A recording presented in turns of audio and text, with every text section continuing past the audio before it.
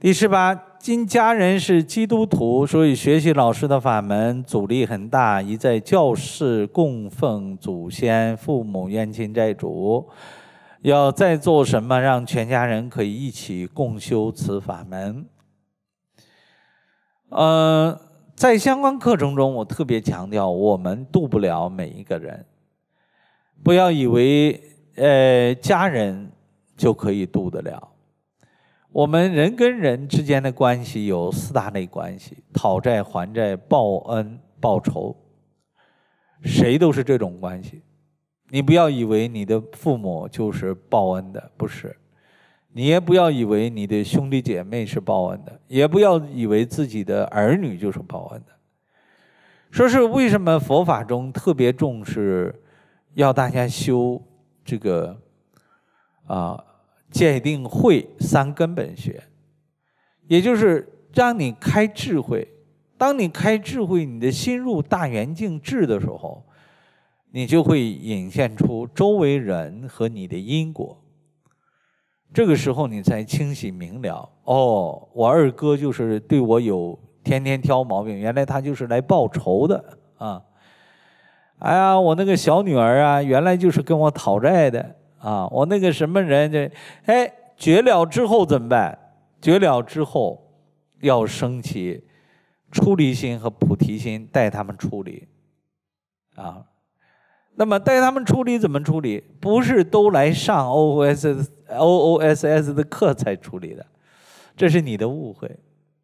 众生的缘各不尽同，所以有的人跟老师的缘深，他会来上老师的课；有的人，有的人对面相逢都无缘啊，他在我身边经过了，他都不认识我啊，这种人他就不是我该度的众生。所以大家要知道，不要用人的人心去办道。这个有一个方法叫自修自证。自修自证，当你是变成一个强大的能量场的时候，你是大太阳的时候，守着太阳的所有的东西得到太阳光的照耀，都会变得纯净光明。你就会度化他们，你就会影响他们。这个叫不言之教。啊，不言之教，而不是一定靠你的说教拉着他们来修炼。说是众生只能自度，对别人只能都通过自己的觉性、光明去觉他，使他觉悟。说是大家不要以为基督徒、天主徒就不会来学我们的。我这里很多基督徒、天主徒的学生啊。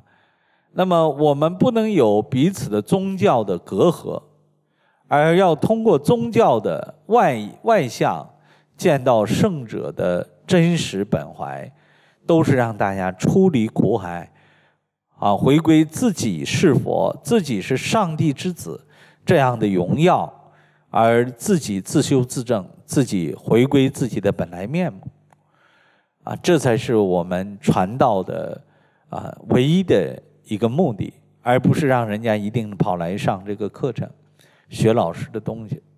说前期呢，你这位同学就自修自证，啊，增强自己的啊这个吸引力、号召力、影响力啊。那么相信有一天他们会觉醒过来，在他们的宗教中找到啊应用的方法。我们今年大量的开启这个西方的。这个传道啊，会在加拿大，会在美国，会在澳洲、英国、瑞士啊这些地方开始走出去弘导。所以在这些国家，大部分我们面对的都是天主徒和基督徒，说我们会用圣经去传导。将来有一些这方面的内容呢，嗯，在网上你可以转播给他们看看。让他们通过他们自己的宗教语言去切入、去了解，那将来可能就更容易一些。